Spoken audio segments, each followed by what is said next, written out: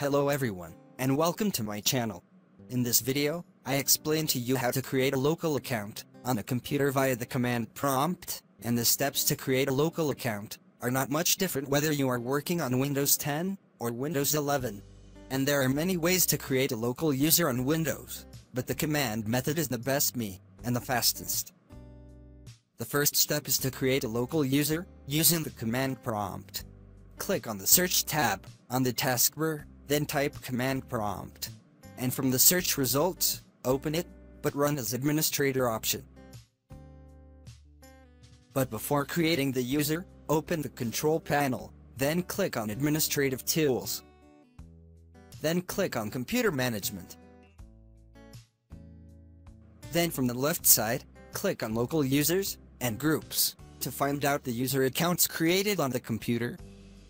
After identifying user accounts, return to the command prompt window and type the command shown in front of you on the screen.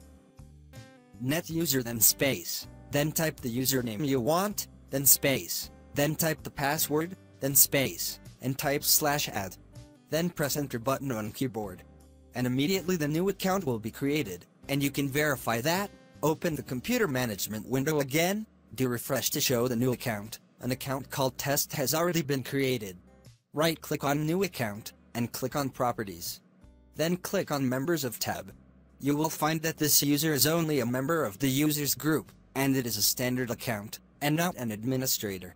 If you want to change the account to an administrator, go back to the command prompt window, to get to know the command that changes the account type. Then type the command that appears in front of you on the screen, net localgroup, then a space, then administrators, then a space, and type the account you want, then a space, then slash add. Then press enter button, and immediately the account type will be changed to administrators. Then open properties of account, click on members of, tab and account has already been added to the administrators group. I think that using the command prompt to create a local account, and also changing the account type is faster and easier, and you can create accounts easily. I hope the video is useful to you. And I thank you for watching. And I also hope to subscribe to my channel. Thanks you all.